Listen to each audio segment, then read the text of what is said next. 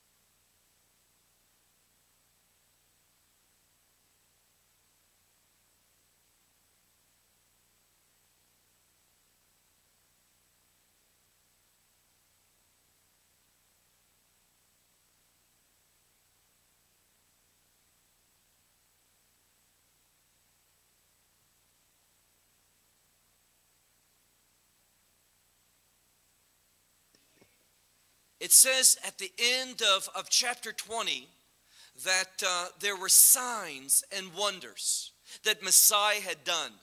And these signs and these wonders were so that they might believe.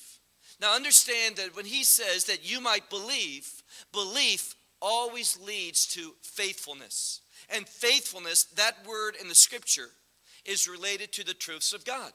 So his miracles, these signs were all to confirm the truth of God that we might respond obediently. But these disciples, well, we're going to see were they responding in that way? Did they have that vision that Messiah had placed within them during those three years? Well, we read in verse 1 After these things, Yeshua again appeared to the disciples. And it was along, and don't miss this, it was along the Sea of Tiberias. Now, that phrase, the Sea of Tiberias, should stand out because over and over in the New Testament, when we talk about that body of water, it is known as the Sea of Galilee. No, here, only here, the Sea of Tiberias. Now, no Jew would have called this body of water by that name. It was the Romans, think of it, the Sea of Tiberias, after Caesar Tiberius, who was, in one sense, the ruler of the world. And the fact that the Sea of Galilee is called the Sea of Tiberias, it tells us, it gives us a context for what we're studying. The disciples, they had a worldly perspective. They were thinking as a Jew, and that term Jew can mean a praiser of God. They were thinking about the Lord's perspective, His call upon their life. They were thinking as the world thinks. And we'll see this in a few moments. So he appeared to them in this manner along the Sea of Tiberias, verse 2. And Simon Peter and also Thomas. Now, look up for a moment. You know, we've encountered Thomas at the end of John's gospel. He's that disciple that says, I will not believe unless I see those wounds in his hands and his side. Well, he saw. He was given that, that vision. He touched the place where those nails and the sword went in. So, once again, it's to emphasize these signs and these wonders. It should lead to faith. It should cause us to have the perspective of God, to see things from His perspective and be interested in the things that Messiah was interested in, namely the kingdom of God. Now, why do I say that?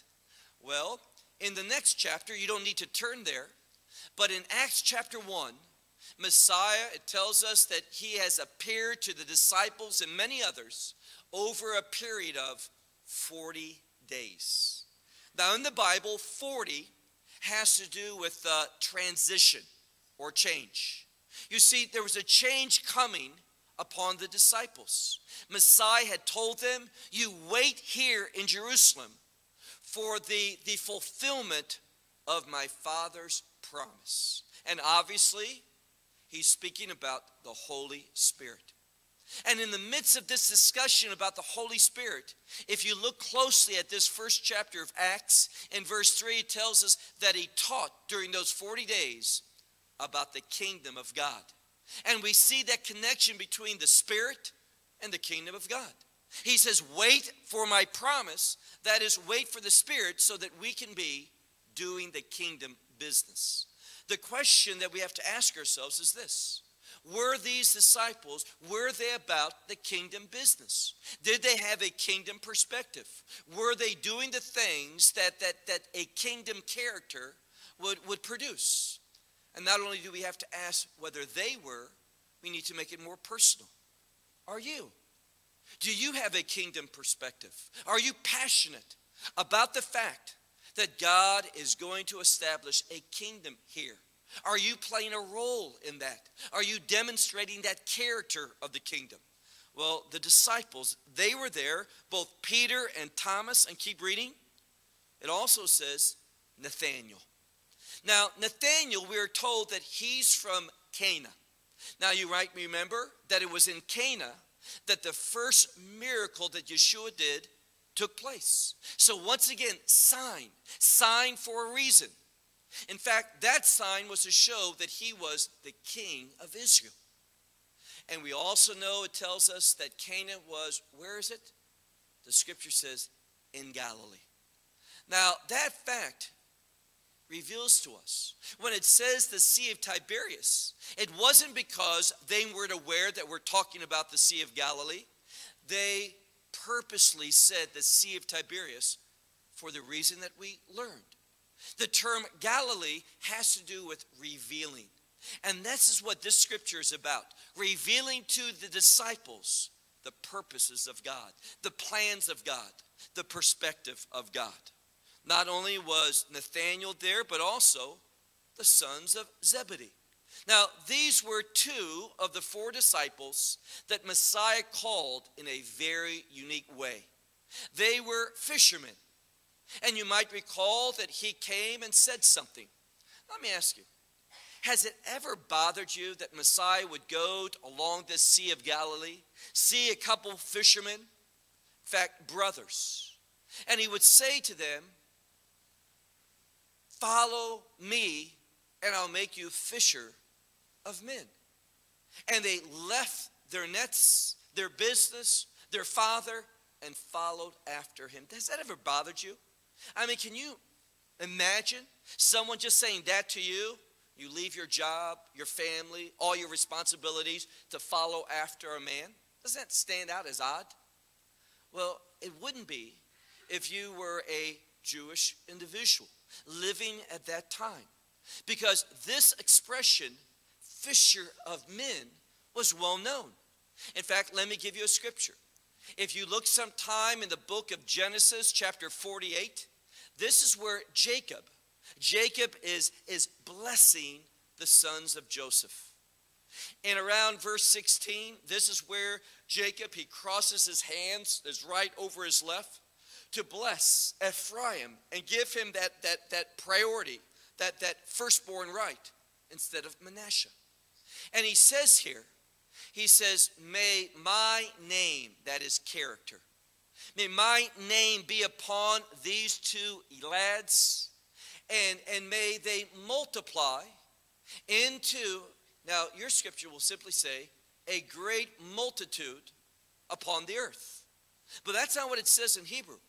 It uses a verb to mean to multiply as fish. In fact, the word fish actually appears in that word. So when they heard, I'll make you fishers of men, what did they conclude? Well, what they concluded was this messianic prophecy. Because in Genesis 48, this passage where Jacob blesses the sons of Joseph, it's known as Birkat HaMashiach, the blessing of Messiah.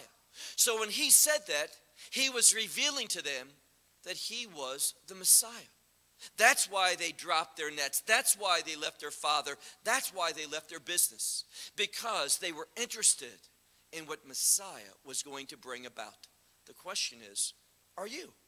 Are you interested in what Messiah wants to bring about in your life? Or are you living a life of frustration because you are set and determined on Messiah giving to you the life that you want? He's not going to do it. You will be frustrated, you will be disappointed, and what will happen? You'll fall back into that previous way of living. Well, move on to verse 3. Now, in verse 3, Peter says something that I can never imagine saying if I was there. What does he say? He says, I'm going fishing. You say, You don't like to fish? Well, not like they did. I mean, if you're talking to me about the, uh, you know, one of my favorite shows growing up was the Andy Griffith Show, you know, Mayberry. You've seen that, most of you. And they would go out on the lake and they would take a picnic lunch and a, a big orange to drink and they would cast their line in and relax. I could get into that. But that's not how they fished on the Sea of Galilee.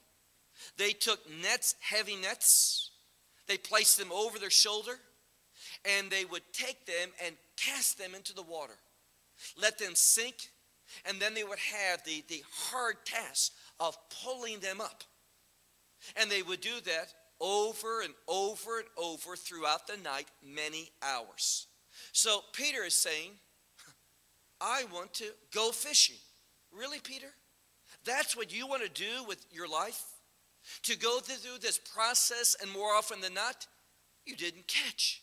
I mean, not every time. You had to work long hours for there to be a, a good catch. But what happens here? Well, keep reading. We find in the middle of verse 3 the other disciples, they said to him, Also we are going with you. And they went, they entered into the boat, and what do we find? They did not catch anything. And this word means absolutely nothing. Now think of that. Working all night. And these were skilled fishermen. I mean, their father was a fisherman, probably their grandfather, and so forth. They knew how to fish, they knew when to fish. And all night, and that's what the text says, all night, and they caught absolutely nothing. Now, you may have a bad day, but to fish and catch nothing, that was unusual.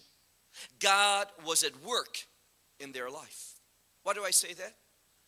Well, think for a moment when I read this passage of scripture in that verse, and how I like to prepare is to read a text and then pray. And when I mean pray, I mean listen to God. Read it again and listen some more, and do that over and over. And as I was doing it, I came to this verse, and they caught nothing. What came into my mind was Jacob and Esau. Remember what the Bible says about Esau? It says that he was a mighty, what was he? A mighty hunter. Now, that term mighty means skilled. He was a man that knew the field, is what it literally says. And it's really odd to think that this mighty, this knowledgeable hunter would go out and he would hunt and he would catch absolutely nothing. God was not blessing. In fact, God, it's prophetic, God says He's not going to bless Esau, He's going to bless Jacob. So when these men toiled all night and they caught nothing, God was at work in this situation. In other words, He was not blessing. He did not call them, He did not sanctify them. And by the way, how many apostles or how many disciples were mentioned? If you count them up in that, that verse, seven. Seven has to do with sanctification, being set apart for a purpose. And they weren't living the purposes of God out, and therefore he wasn't blessing. And that's a principle that still applies today. If God's not blessing, you're not living out your call, which he has given to you for your life. So notice what happens. They catch nothing all night. Verse 4. Now, with the morning, morning has to do with the revelation, shining a light on it. And we're going to see what is the problem. Their problem was with Yeshua, with Jesus. Why do I say that? Verse 4 And with the morning, Yeshua stood upon the shore. But the disciples, they did not recognize him. Now, this is important because they had been with him, living with him every day for the last three years. But this is the resurrected Messiah. And understand, there is an inherent relationship in the scripture between resurrection and kingdom. When Messiah resurrected, he had that kingdom character. He always had it inside, he always demonstrated by behavior. But uh, the scripture says in the book of Isaiah, when we looked at him prior to his resurrection, he wasn't comely. There was nothing uh, special about how he looked. But after the resurrection, he reflected externally the kingdom. And they, when they saw this kingdom, this resurrected man, says they did not recognize Yeshua. And that's always a problem for us because he said something. He has said he's never going to leave you or forsake you. In other words, he is always with us. Do we really acknowledge that? Do we really believe that? I mean, oftentimes I do, you do things that if you knew that he was right there with you, if he was visible, I bet you wouldn't do that. I bet you wouldn't think the same thoughts. I bet you would be noticeably different. The problem is we forget that the presence of God is with us. We belong to Him. His Spirit, if you're a believer, dwells in you. Now move on. They didn't recognize Him. Verse 5, He spoke to them. And I want you to see how He addressed these men. Now, your Bible may just simply say children. But we need to understand that this is not the term, the normal biblical word for children. He's not speaking to them as a spiritual leader that might say, My dear children. That's how he's speaking. He uses a phrase that speaks about a very small child, one who is immature, one who cannot take care of himself, one, one who can't be left alone. So when he uses this term, it's almost like he's scolding them. He says, uh, Little immature children, did you not catch any fish? And this is important because, biblically speaking, let me give an example what I'm talking about. There's going to be, every year, there's a very important festival in the fall of the year. It's called biblically the Feast of Trumpets. It's known in Hebrew commonly as Rosh Hashanah or the New Year. Now, everyone, New Year's come and you have expectations. You want a good year. In other words, you want a blessed year. And one of the things that uh, Jewish families do on that night when we celebrate that holiday with a very special meal, we'll have uh, apples and honey because we want a sweet new year. But something else that's there is a fish. There's always a fish just set on the table. And the reason for this is that biblically and also rabbinically, fish are synonymous with blessing. So you put the fish on your table because you're saying, I want a blessed year. So when Messiah Yeshua says, You didn't catch any fish, what's he saying? you have no blessings. You don't show any of the effects of, of being a child of God, a disciple. There's no evidence of me working in your life. So he says, You have no fish? And they say, uh, No. We have none. Well, notice what he responds. Look, if you would, to verse 6. He says to them, Cast your net on the right side of the ship, and you will find. Now, how does he know that? I mean, first of all, it's daylight. Fish in the daylight hours, they go down deep. It's harder to catch them. It is not an appropriate time to fish. Fish, they finish for the night. But nevertheless, because he says, cast your net and you will find, how did he know that? Because he's the master of the universe. He is the Son of God. Fish obey him. Know, not too long ago, I was teaching from the book of Jonah. And one of the things I like about the book of Jonah is that in that book, everything and everyone obeys God. Those sailors, they ended up obeying God. That captain, he obeyed God. The wind, that great fish, that little worm, that gourd, the people of Nineveh, everyone obeyed God in the book of Jonah except for except for who? Jonah. And what I want you to see is that oftentimes we're like Jonah. That's the disciples. They had the privilege of being intimate with Messiah. They had the privilege of being taught his call upon their life. They don't recognize him, they don't have the blessings. So, what do we see here? He says, Cast your net upon the right side of the boat. And they did. And what happens? They cast and they were not able, into verse 6, they were not able to, to pull this net, to pull it, because of the abundance of the fish. All night, over and over and over, scholars tell us that it takes about 10 minutes to cast a net in and pull it up. They, they fished all night, probably around six to eight hours. So times eight, times six, 48 times throughout that night. They cast this in and caught absolutely what? Nothing. And now they do it at his word. And what happens? They catch unusually. This, this large catch of abundant fish. Now, remember, what does fish mean, biblically speaking? Blessings. See, when we obey the word of God, even if from a logical standpoint we would say this is not the time, this is not the place, we're too close, we'll see this in a moment, we're too close to shore. This is not naturally the time or the place.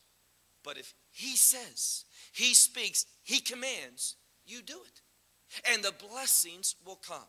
Now, here's the problem he wasn't so interested. I'm speaking about Jesus.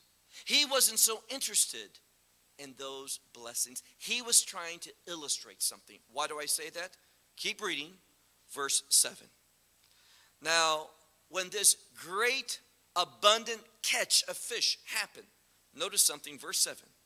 And the disciple whom Jesus loved, he responded and he said to Peter, This is the miracle worker. Is that what your Bible says? This is the Messiah. No. It's very important. I mean, we could use many different uh, definitions and terms to describe Yeshua. But what's important here is that they use the word the Lord. And that implies submissiveness. Now, he can make you exceedingly blessed in the things of the world. Is that what you want? What does the scripture say? If a man should, should acquire the whole world, but his soul perish, what profit is there? So he's going to put forth before them a choice. Well, this disciple, whom Jesus loved, he was the first to recognize this is the Lord. Now, who's the first disciple mentioned in this, this passage? Peter. You know, Peter had this, this desire, this, this obsession of being what? First. He always answered, he always stepped out. You, someone's got to walk on the water, I'll do first. He loved to be first. He was excitable. And that's okay if you're excitable for the things of God. And what did he do? When he heard that it was the Lord, the scripture says that he tossed himself, everyone else we'll just take the boat into the shore, not Peter. He plunged himself, that's what it literally say. He plunged himself into the water and he swam there. No. There's a very important fact that the scripture tells us. And if we overlook this, we overlook the foundational truth if we're really going to be children of God in this world. Why do I say it that way? Well, if you are a believer, you have accepted the gospel by God's grace, you're going to be in the kingdom. I hope you want more than that. I hope you want to be useful and be the salt of the earth, the light of the world now. That you want to be a faithful, obedient disciple in this age. Why do I say that? Because what the scripture says is this prior to plunging himself into the lake, what did he do? Now, if I was there, if I had a shirt on, I might take off my shirt to dive in. You've seen that. You've seen these movies where the hero, he's going to dive in and save the drowning woman. He takes off his coat, his shirt, his shoes. But Peter did just the opposite. The scripture says he was barebacked. He had removed those work. He had removed his, his cloak. Literally, it's a special term. Does not your Bible, Bible say the outer garment? Now, the outer garment is what's known in Hebrew as the arba kanfot, which means the four corner garment. It's like a shawl that someone wears. And if you look, let me give you a citation Numbers chapter 15, verses 37 through 41. There it talks about every Jewish man, he has this four corner garment, this outer garment, and on each corner, he has to place a specific, unique type of tassel. We call them in Hebrew tzitzit. And they, if you read that scripture, Numbers 15, verses 37 through 41, they are made in a way whereby they reflect the commandments of God. So I want you to see something. Peter did not want to go before his Lord exposed, that is, naked. What does that mean? Well, don't you go before your Lord. See, you're going to be, if you're a believer, you're going to be in the kingdom of God. That's only half the issue. You're also going to go before Him in regard to not where you're going to spend eternity, but you are going to be judged, what the scripture says, by your works. Not for salvation, but for what? Rewards. What do you do with those rewards? You cash them in for dollars? No. You lay them at the foot of your Savior. Now, I don't believe that any of us, when that time comes, is going to want to go there with what the scripture says. Don't, be, be, don't appear before the Lord your God how? Empty handed. That's what the Torah says. So we want to have obedient works in our life. And this garment, see, this is symbolic. This garment represents the commandments, the Word of God. And, and Peter, for us, now he probably didn't even think what he was doing. But for the reader, it's significant because it tells us that if we want to go before the Lord, we should do so how? With a mindset based upon the Word of God, obedience. See, sometimes people today, they don't want to talk about obedience. What's the name of this congregation? Grace Connection. And let me tell you, biblically speaking, grace saves, but grace also teaches us, so says Titus to deny ungodliness. So just don't accept a partial grace, just the grace that saves. Also, understand that same grace works in your life to cause you to deny ungodliness and unrighteousness. Where? In this present age. You're not going to have a problem with that in the age to come. The problem, the test, the battle is in this age. And grace is the solution. It leads us to obey.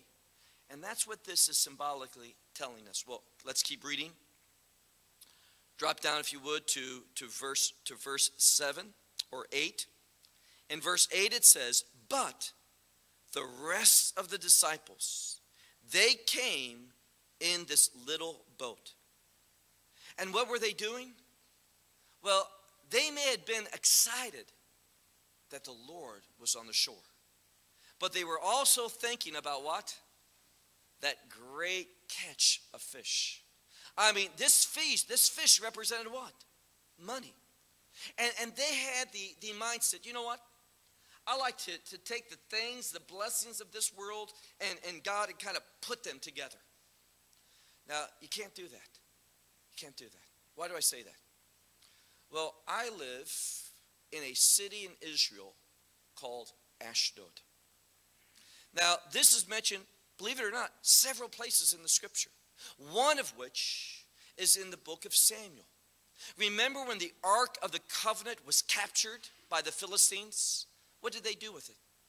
They brought the Ark of the Covenant into their pagan temple and they put it next to their pagan idol. See, this is what they do. They want to mix pagan, the things of the world, with the things of God. How did that go for them?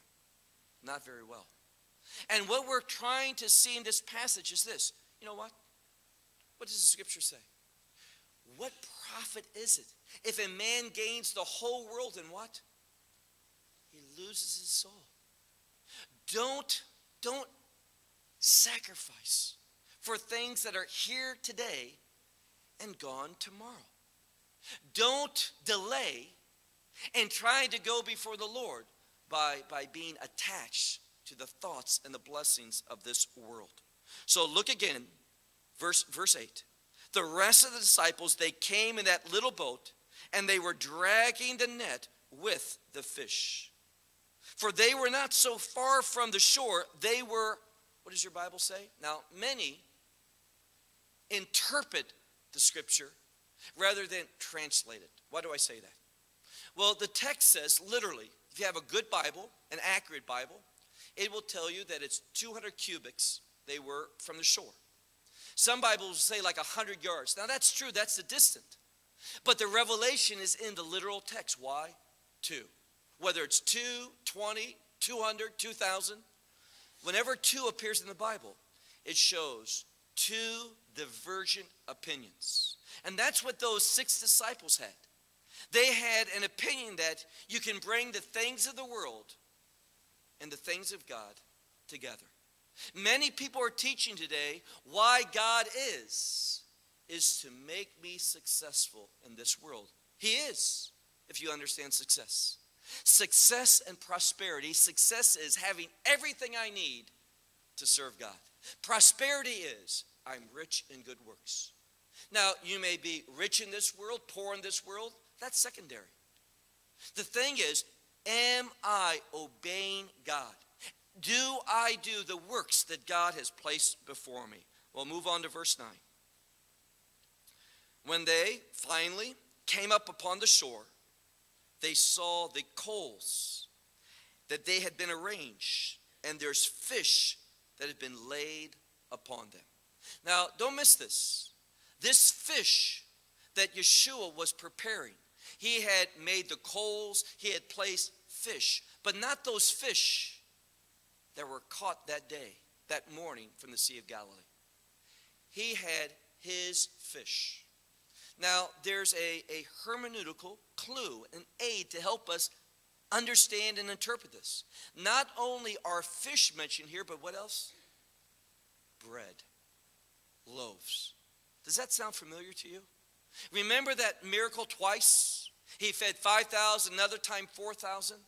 He fed them fish and bread.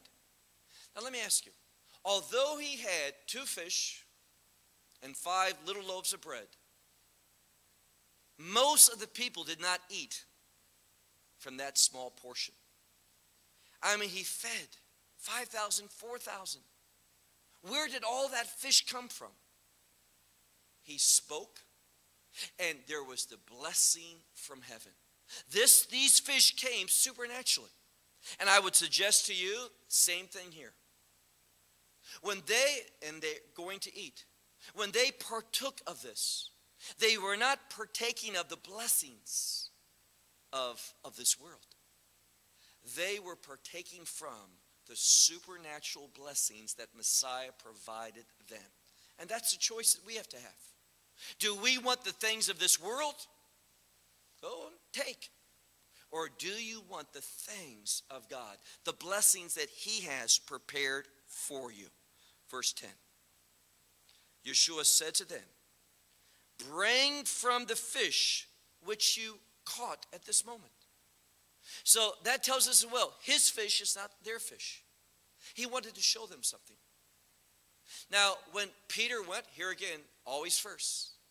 He went, he pulled the net, he uncovered it, he took some fish, and he saw that all the fish, don't miss this, all the fish that they caught that day, they were large. Literally, the word is great fish. Now, I'm not a fisherman, but I've been on the Sea of Galilee. I've watched the fisher boats go out. And I've seen them come in and they toss their net in what's called the shuk, the marketplace. And you know what type of fish you see when they have a good catch? You see big fish, little fish. You see fish that are black fish, silver fish. I feel like Dr. Seuss this morning. But you see all types of fish. Here, not so. The only type of fish, and this is miraculous, the only type of fish that were caught that day were large, great fish. I mean, if you want the success of this world, God can give it to you. He can do supernatural blessings. If He wants you to have it, He can do it. But the focus, what they actually partook of that day, was the blessings of Messiah. The last thing I want to share with you is this. See, numbers are important in the scripture. And what we find, and Messiah was the one behind this, he says, you know, let's look at this fish.